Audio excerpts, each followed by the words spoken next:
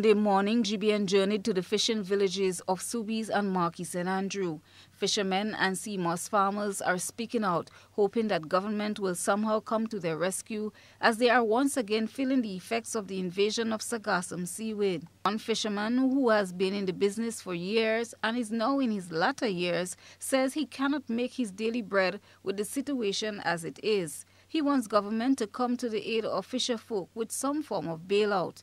As get into it, sometimes it uh, it burn the, the engine.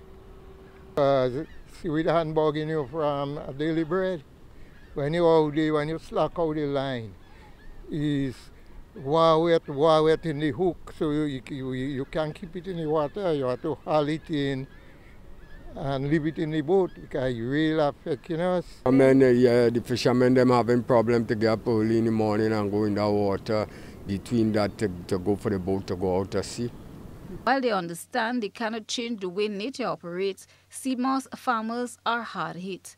The industry has begun showing potential, they say, as there have been a great demand for the commodity on the international market.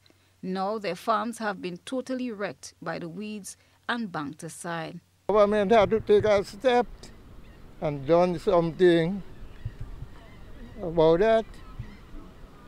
But I see they doing nothing, only, they only talking and they don't working.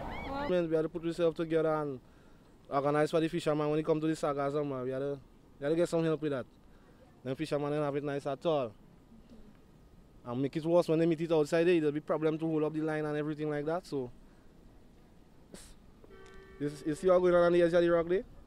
That is similar to them and plant. And how the sargassum come now, you just go with everything and jam it on the rock. And what go happen now, the sea must go rotten between it if them and then rush to go and take it out in time. You understand? So Christina John, GBN News.